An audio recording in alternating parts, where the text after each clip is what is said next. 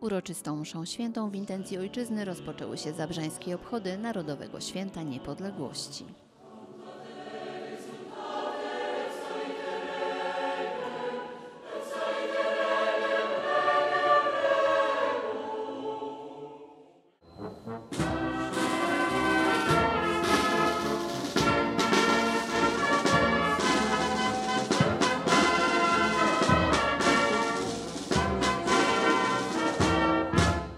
Dzisiaj spotykamy się po to, żeby świętować, a jednocześnie uczcić pamięć tych, którzy w tych trudnych czasach walczyli o tożsamość, walczyli o to, żeby mimo trudu, e, cierpienia, ale też walki, odzyskać to, co dla nas jest najważniejsze. Po mszy pod tablicą pamięci tych, co grobów nie mają, złożono wieńce i kwiaty.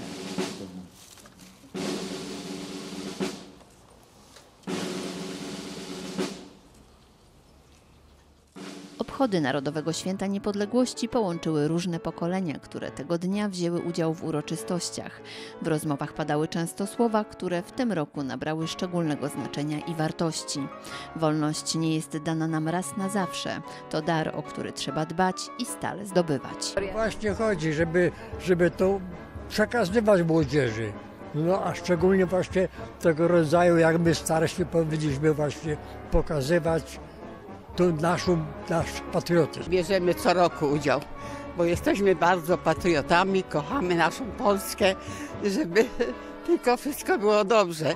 Święto 11 listopada jest bardzo ważne, ponieważ przypomina nam o poświęceniu wielu bohaterów, którzy oddali swoją krew i życie za ojczyznę, suwerenną, niepodległą.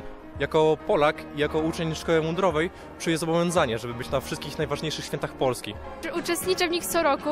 Przyjechałam właśnie z małą, żeby poświętować trochę, bo lubimy tą tradycję i też ze względu na orkiestrę, bo sama gram w, w szkole i też lubię słuchać. Ten dzień jest dla mnie upamiętnieniem niepodległości Polaków. Naród bez historii jest narodem straconym. No, musimy pamiętać o tych ludziach, też składać im e, podziękowania za to, co zrobili, bo to dzięki nim możemy żyć dzisiaj w wolnej Polsce. Bardzo się cieszę, że w naszym mieście te obchody Dnia Niepodległości są różnorodne. Z jednej strony turniej 30-godzinny e, dla wszystkich miłośników piłki nożnej, dla innych bieg niepodległości, dla jeszcze innych marsz, dla tych tradycjonalistów święto niepodległości miejskie, tradycyjne, bardzo liczne, co bardzo mnie cieszy i przede wszystkim różnorodne. Z jednej strony najmłodsi mieszkańcy naszego miasta, z drugiej strony seniorzy, a dla mnie najważniejsze jest to, że jesteśmy tu wszyscy razem. Myślę, że święto niepodległości powinno być obchodzone właśnie w taki sposób, ponad podziałami i z pełnym poszanowaniem i pamięcią dla tych, którzy oddali swoje życie za to, żebyśmy my dzisiaj mogli żyć w niepodległym kraju.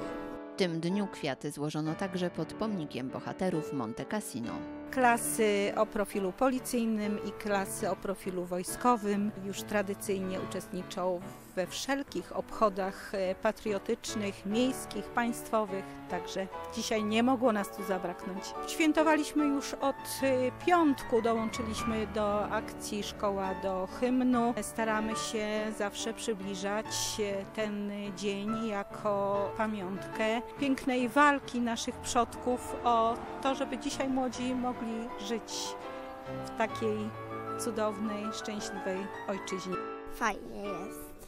A dlaczego postanowiłeś wziąć udział w obchodach? No bo chciałem. Co roku od lat e, zbieramy się właśnie e, w celu uczczenia e, święta 11 listopada, święta niepodległości.